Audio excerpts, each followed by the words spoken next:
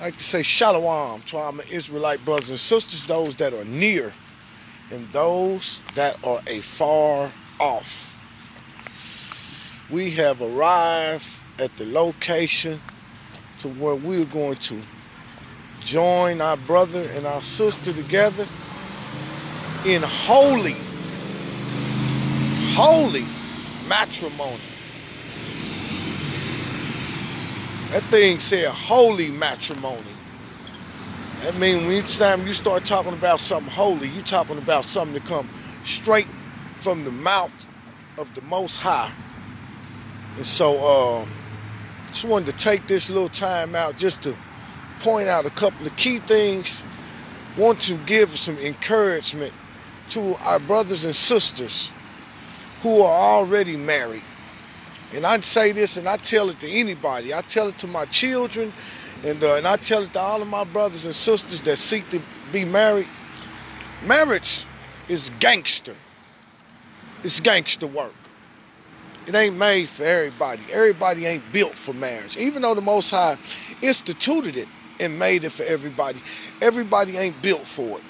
And so, um, one of the reasons why everybody ain't built for it is because everybody ain't seeking to please the Most High. But for those that are seeking to please the Most High, and then you have spouse, uh, you have husband, you have a wife, it's gangster because it requires hard work. Um, there are many different things that we can face or experience in life as a married couple, and the work is not always hard from the standpoint of husbands getting along with their wives. It's not always hard from that standpoint sometimes it gets difficult because of the things that a husband and a wife have to face together. Now, when they enter into a storm, they enter into a storm together as a couple. Though sometimes the storms may be great, as long as they remain intact and keep that in mind, that they're able to withstand whatever thing comes against them. Now, we know for the man, the Bible says, He who findeth a wife findeth a good thing, and he obtains the Most High's favor. That is the equivalent for all of our brothers and sisters that have a, have a fear of marriage. Don't you understand that there is no wind that can blow into a marriage that the Most High won't do you a favor? He said, because you went and you honored my word and you sought to do this thing and get this thing done, hey man, guess what? I'm going to do you a favor. No matter what it is that you need in life, I'll do you a favor. If you and your wife having problems, I'll do you a favor. Just come to me. I'll do you a favor. I'll fix her. I'll fix you. I'll fix you if you the problem. If you having problems with what I told you as it relates to taking care and caring for your wife and caring for your children through the uh, financial means and not having enough or the loss of job, said come to me, I'll do you a favor because I commanded you to do these things. But I I didn't tell you that things would happen. But I'm telling you that when things do happen, I'll do you a favor. And because you have honored me and taken a wife unto yourself, I give you a never-ending supply of favors. And so it's time out for brothers and sisters finding any kind of reason that they can to loophole their way out of their marriage when the Most High have made a never-ending supply of favors available. And we seem to forget some of those words that we said. We promised to do these things so long as God help us. And that is them favors that's kicking in. Every time we need something, the Most High said, you come to me and I'll do you a favor because that's what I promised you when you took a wife. And so um, marriage is an honorable thing in all. According to Hebrews 13 chapter, marriage is honorable in all, and the bed is undefiled. It means that the bed is clean. Because to be undefiled mean that it's pure, mean that it's holy, mean that it's sanctioned, it's set apart. He said, but whoremongers and fornicators, the Most High gonna judge. You know why? That's because you jumping into a bed that is dirty, a bed that is unclean. I mean, a bed that is uh, is not clean, and so you can't really see the dirt and the filth of the uh, defiled thing with the physical eye.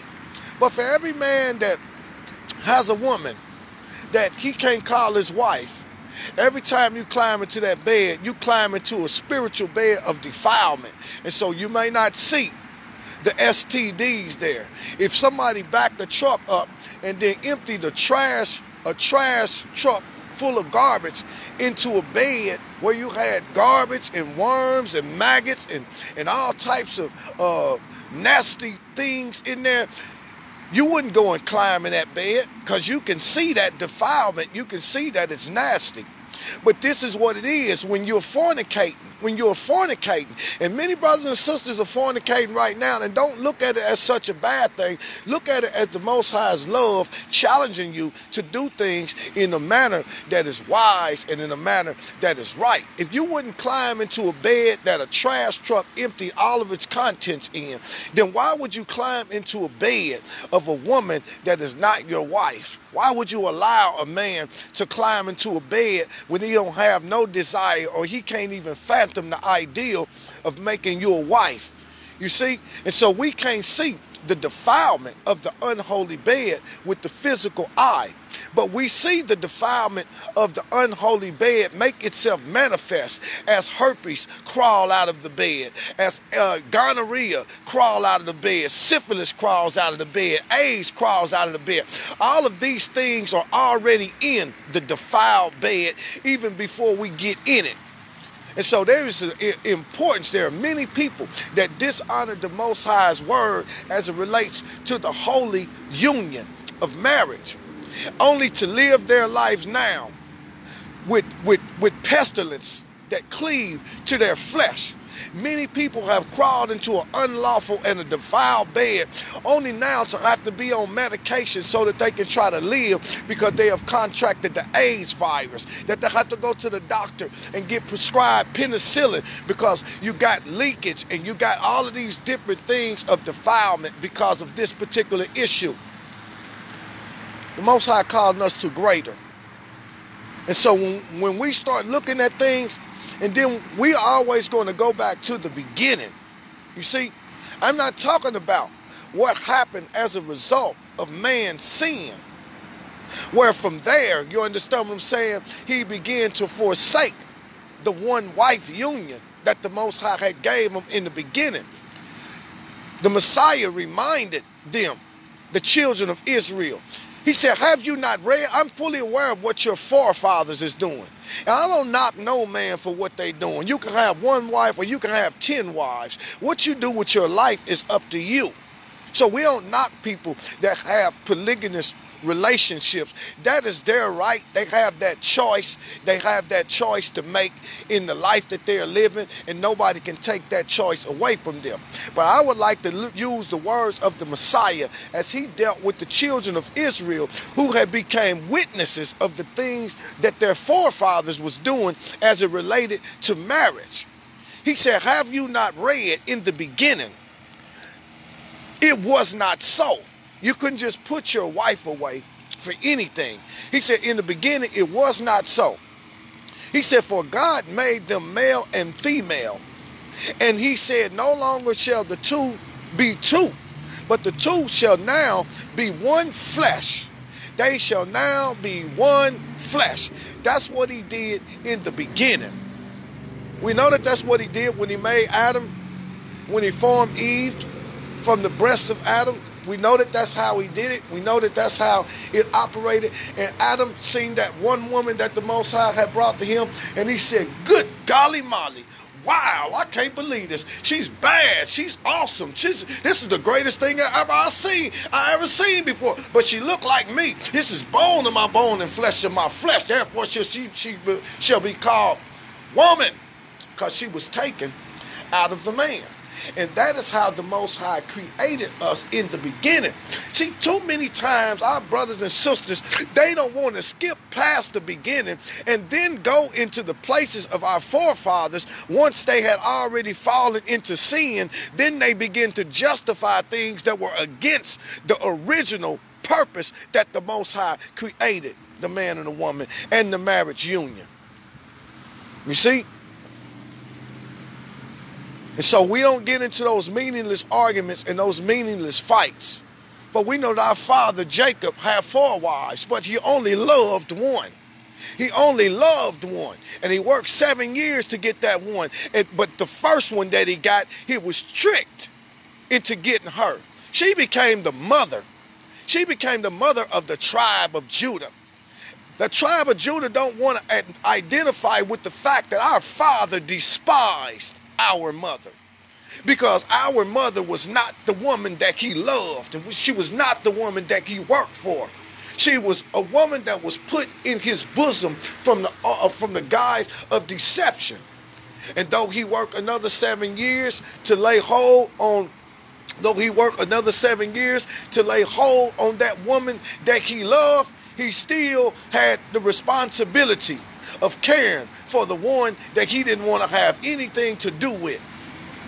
When we start looking at our father Abraham, even though he went into Hagar, and even though they produced a seed, Hagar was never his choice, for he loved Sarah. Now we're looking at these things from a biblical standpoint, and we're looking at the things that our forefathers had done and, and the different areas that our forefathers uh, did things that would cause them to have go outside of what the Most High had originally done. And so, you know, I'm always going to go back to the beginning because I, I believe in my soul. Yeah, I told him to bring some so I can take care of that. Yeah. So I, I am I'm gonna always stick with what the Most High did in the beginning. See, ain't nobody the, on the planet can fight against what the Most High did in the beginning. Though I don't knock brothers and sisters for the choices that they make throughout the course of their life because they have a right. To, they have a right. If a man chooses to have three or four wives, who am I to tell him anything different? That's his choice. That's his right. If the women that he is dealing with are pleased to deal with him in that matter, that's their choice. That's their right. Nobody can take that away from them. But I'm always going to go back to the beginning, how the Most High made and created the marriage union in the first place. That's what I'm going to do. So it don't come as no strike against the brothers that have entered into different type of relationships. They have those choices. However, nobody can undo what the Most High done in the beginning. Nobody can undo, undo that. We have some of them same fights when it came down to eating the flesh and the blood. I don't tell people that because I don't eat meat. My choice not to eat meat was purely based upon health issues and the things I was experiencing with my body. However, ain't nobody on the planet gonna be able to undo the first diet that the Most High gave Adam and Eve when He first created them. I don't care what's contained in Exodus concerning sacrifice, what's contained in Leviticus concerning sacrifice, or what's contained in the book anywhere else. All of those things are a result of the fallen nature of Adam and Eve, and then our forefathers began to do things that was against against what the Most High did originally. And it's the same way when it comes to marriage even though our forefathers had the right to take these things, because sometimes during the preservation of the nation of Israel, men would fall in battle. And then the wives that they left behind, they had to be cared for. So they would be able to take their brother's wife and then go into her and produce a seed should he die without children. It was a preservation type of thing that caused men to have to do these things. Some men made the choices to do it, and then some men of our forefathers of old they didn't choose to do it. We have one brother that that that had the responsibility to take his brother's wife, yet he didn't want to produce a seed in her. And so every time that he would have sex with her, he would pull himself out and he would spill his seed on the ground. That became a great sin to the Most High because there were laws that were put in place purely for the preservation of Israel. And this is how many of our forefathers ended up with multiple wives. Our forefather, our father Jacob, he never chose the other wives. He never chose them. He chose one.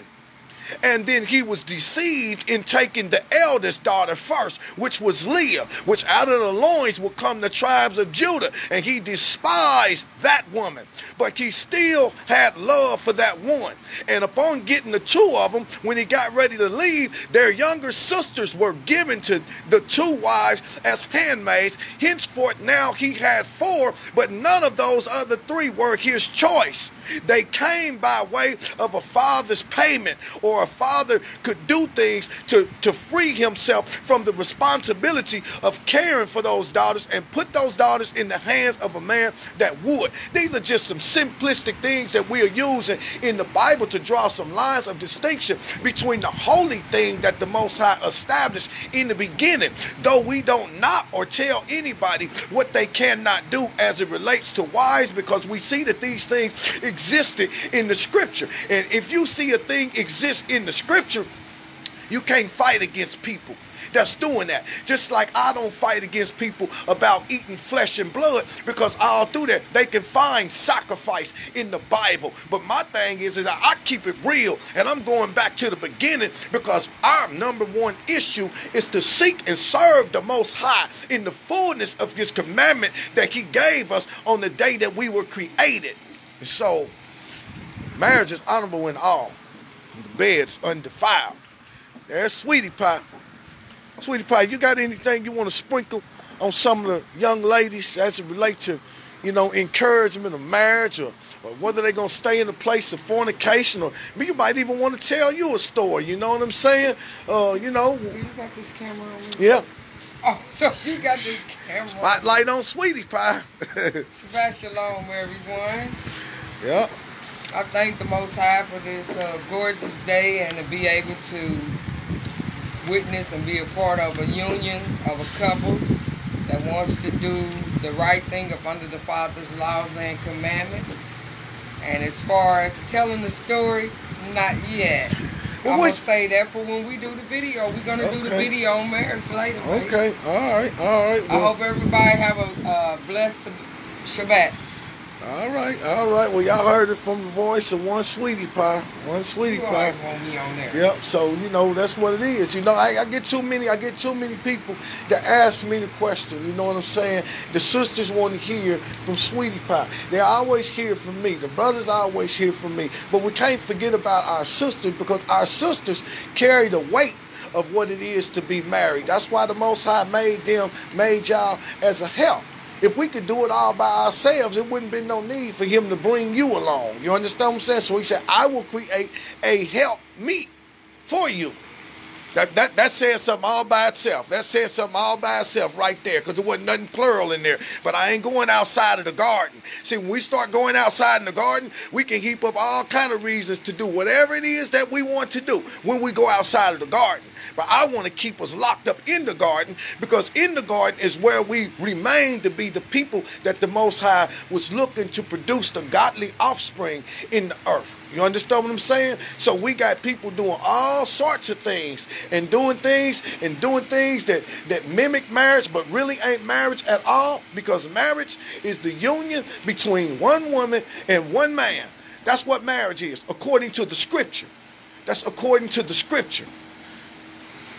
Now, so, but you know, as we said, that even though we make these videos, we don't want our brothers to be offended that that that have a desire to have multiple wives because it's through the multiple wives that the nation of Israel was built was birthed into existence and was incubated into existence in Israel. That's why Pharaoh came and said, Look, the children of Israel are multiplying far more faster than we are multiplying. He said, Every time I, I have one baby, they having six, seven baby. Well, that's because the men of Israel might have had four or five wives, might have been walking around with big bellies and pregnant all at the same time. But there was a purpose behind that because he promised Abraham that he would make him the father of many nations. And so there were certain things that came with the customs of Israel that caused Israel's numbers to be greatly increased because of this issue right here.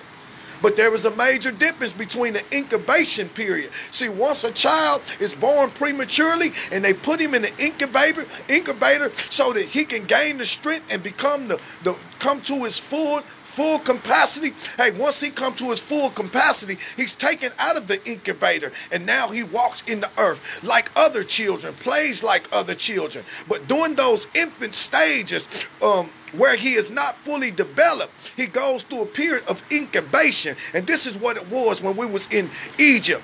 When we was in Egypt, it was an incubation period because we went into Egypt 70 people. But we came out, this vast number of people. It's through our incubation stages that the Most High was building a nation inside of the empire of, uh, of Egypt. But when our forefathers came out of Egypt, they came out of Egypt as a full functional nation of people. And it, even though it was part of the culture, to have multiple wives. It was not a thing that was mandated within the culture because every man didn't have that but there were certain men that were chosen for it. We look at the story of Hannah and Penina and uh, uh, Abimelech, who had two wives. One of his wives was producing uh, numbers of children at a rapid pace, and one of his wives was barren. I would like to think that the wife that was barren, it was something that was dealing with her that caused her to have to be cared for by Abimelech. And so Abimelech would give her a double portion of the physical things of the earth because she was a woman of a sorrowful spirit and could not produce children. And the one that could produce children was always on her nose, on her nerves. But one day, we know the story that Hannah went into the temple and began to weep and begin to wail and begin to cry out unto the Most High because she couldn't produce no offspring. And the Most High opened up her womb and then gave she gave birth to Samuel the prophet who was committed to the Most High uh, and His work for all the days of his life. This is you talking about. You talking about when a man loves a woman. When a man loves a woman, she can do no wrong. I know you got that on me again. He'll trade the world for the good thing he's found. if she is bad, he can't see it. Yeah. If she playing him for a fool, he's the last one to know. Heaven knows. See, I'm telling you, man. So we can find these things in the scripture, you know. We can find these things in the scripture because we got to bring back the love. You understand what I'm saying?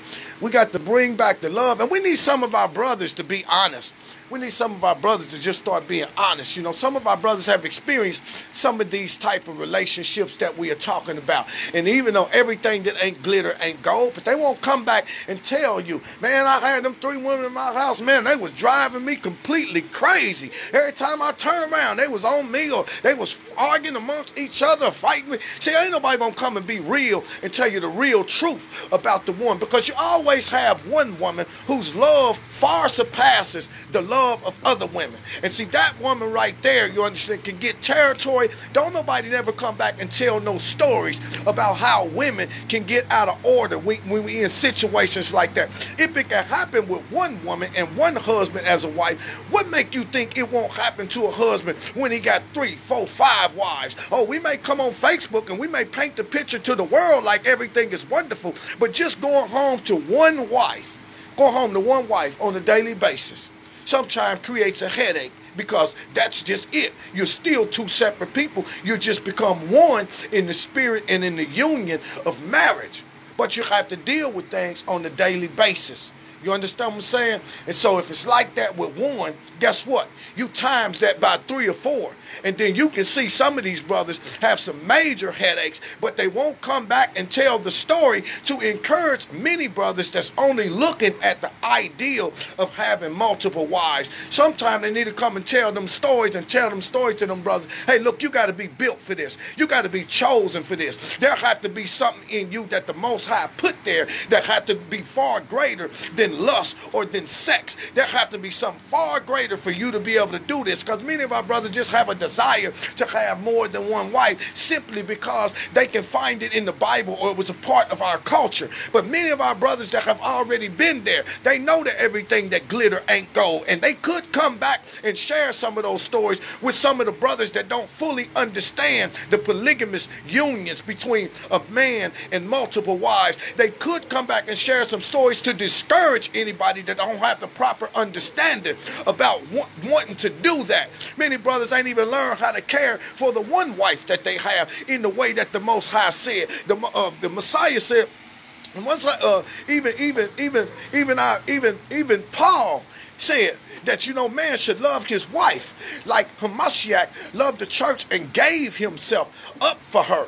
That he may sanctify it and wash her with the washing of the water of the Most High. This is encouragement for our brothers and sisters who have wives or have women that don't seem that they have grown to the same place. He said it's your responsibility. You have to sacrifice your own life for that woman and you have to wash her with the water of the word. And to wash somebody is a process. It may, it's the process of life. You might have to start off by washing the hands, but then when you get the hands clean, you find the arms are dirty and you got to wash the horns. And then you find out that the rest is dirty. You got to wash her with the water of the word from all of the contamination and corrupt and abuse that they experienced previously. And see, brothers don't know what women, what our sisters have been through. But we do know one thing. We do that, know that they will have to be washed with the water of the word. And that's a lifetime process of washing. And tell you that you don't always agree on everything. Some things require sacrifice on both parts. It's been said, submit yourselves one to another. Every time we turn around, we got brothers on Facebook talking about wives supposed to be submissive, wives supposed to be submissive. Well, you supposed to be submissive too. The Most High said, submit yourselves one to another in the fear of the Most High because you are joint heirs. In the same way that we want them to have a submissive spirit toward us, we first have to have a submissive spirit toward the Most High. We have to have a, a, a, submissive spirit. When we can have a submissive spirit uh, for the Most High, then that automatically brings us to a place to where we can submit before our wives we know what he told Abraham. Abraham, hearken to the voice of your wife. Close your mouth sometime. I know you're the head, you're the leader, but close your mouth sometime. I put something in this woman that's to bless you. Shut up and hearken unto the voice of your wife. She's telling you the right thing. And many times men get offended when their wives get the opportunity to speak up and speak up on their behalf. They are genuinely trying to help you. But we ain't learned the principles of submission ourselves. These are all of the things that we have to deal with with the holy union of marriage. If y'all think for one minute the sweetie pie don't whop me upside the head every now and then, y'all sadly mistaken. That's what I'm talking about. You need to shut up sometime. You just think you know everything. Sometimes you need to just shut up and listen. And it didn't happen not too long ago as we was trying to find the place to this park. And I'm saying, well, it's got to be over here. It's got to be over here. It's got to be over here. And Sweetie Pie look out the window and said, there it is over there. I told you to turn down that street there. Sometimes y'all just listen. So That's marriage. Any man to have a woman that he can't listen to, he gonna be in trouble. He gonna be in trouble. So when we seeking to please the Most High, there are multiplicity of things that we have to learn, but we learn them together. Don't no man know the grand sum total of everything. That's why the Most High give him a helpmeet now, when you start analyzing that word help me, let's put it in layman terms where you can understand. You have the CEO of a company, then you have the president of the company, and you have the supervisors and the managers of a company. But what outnumbers all of them is the help, which is also known as the employee. If you want to see what kind of company a company is, you let the employees walk out on strike, fed up at the leadership, and declare that I'm not going along with this mess anymore. And watch what happened to the company company then. You see, the company can't survive without the help. And that's how it is with marriage when it comes to the wife that the Most High gives us as men. You see, He gives them to us so that they can help us to further our purpose in the things of the Most High. But you let that wife go on strike.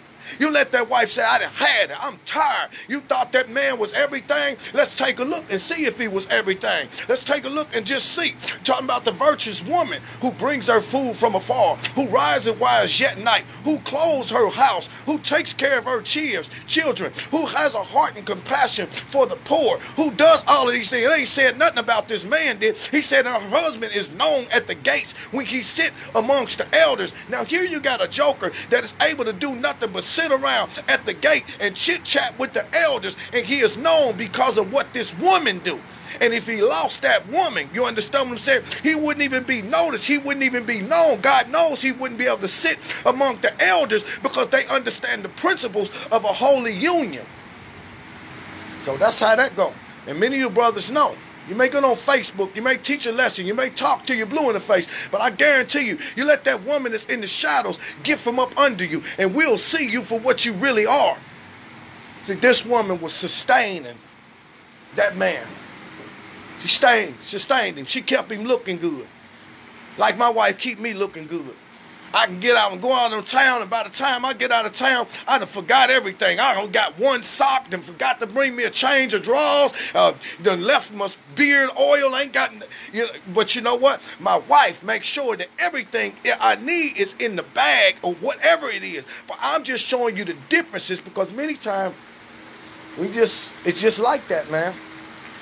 It's just like that. So, so all praises to the Most High Heavenly Father. Heaven rejoices when, when our brother sees something in the woman that causes him to want to honor the Most High by making him a wife. Is it easy? No, it ain't easy because the Most High wants us to be dependent upon him. That's why he said a threefold cord is not quickly broken. You have the husband, you have the wife, and then you have the Most High that is intertwined, keeping the two of them together. Ain't no marriage could be uh, sustained without uh, the Most Highs, without doing it in the way that the Most High deemed for it to be done. But even right out the gate, you see, I don't knock nobody else for what they do.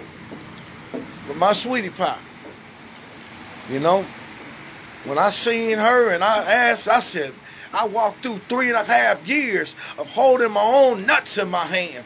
Abstinence, abstaining from sex because I wanted to make the right choice. I'd already been through 20 years of marriage that didn't work, and I didn't want to make the same mistake again. And when I seen my sweetie pie, I said, that's the type of woman I'd like to have. And the Most High said, oh, you can have her. Because one day I heard a voice say, anybody that rejects me, you got to reject. And that made me grow hopeless because the vast majority of women that I was associated with would reject the Most High. But boy, I was in that nightclub having me a glass of wine and sitting out there. And when I ran into Sweetie Pie, I said, now that's the type of woman that I'd like to have. I was made up mind. I didn't want another woman out of church because I was married to my last wife and she was singing in the choir and praising the Most High on Sunday and then in the courthouse trying to get divorced on Monday. And I declared I didn't never want another woman in church that had a made up mind and she wasn't going to do nothing that the Most High had told her to do.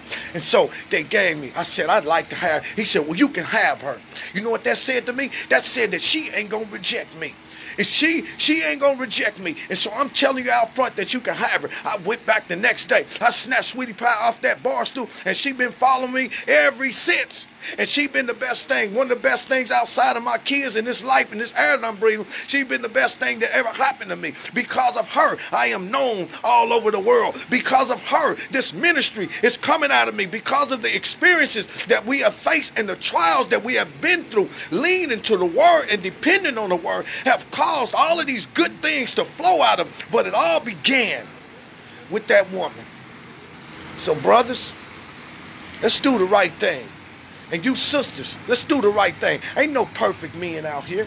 Ain't no perfect man. Oh, I like to have a man like that. I like to have a man. I like to have one of them mores, one of them bishops, one of them, one of them brothers out there that's teaching. Hey, ain't no man like that. You take the man that you got because if he's a raggedy man, that only give you the uh, opportunity to analyze what type of helpmeet you are. You have the power to, to transform that man from where he's at into whatever you want him to be. I can you show me a, a weak man that gets a woman that understands these principles, and she'll take that joker who everybody despises and called weak, she'll take that joker. The next time you see him, he'll be suited and booted. He'll go from jeans, t-shirts, and tennis shoes to gators and suits and beaver hats, which will become his marital tools. And he will shine like new money before the brethren. And guess what? They don't have nobody to praise for but that woman. And then you can find another man who's a stiff-necked man that think he got it going on all together. Well, the Most High got something for him too, because he'll let a woman that don't know how to use that power come into his life, and that thing will rob and rape him. And you show me a stiff necked man, I'll show God send a woman his way that'll break him down from everything that he got. He'll lose his money, he'll lose his house, he'll lose his car, he'll even lose his mind. All because we don't understand these principles. So, you know, you're out here fornicating and all of that stuff, repent. Ask the Most High for forgiveness. He who can't rule the spirit is like a city with no walls. You got to be able to control your hormones. Get control over your hormones. You don't let no woman just puppeteer you as a man because she got a big booty and got cleavage showing and she can twerk. And you don't let no woman control you. Men got to stand up and be men. Be the men of God that we're called. Everybody want to claim to be Israel. Well, if you're going to be Israel, you must do what Israel do. You must do what Israel's supposed to do. All praises to the Most High Heavenly Father.